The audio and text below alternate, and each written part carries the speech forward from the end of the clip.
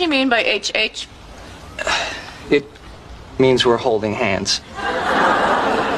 Are you the cutest? I'm afraid I might just be.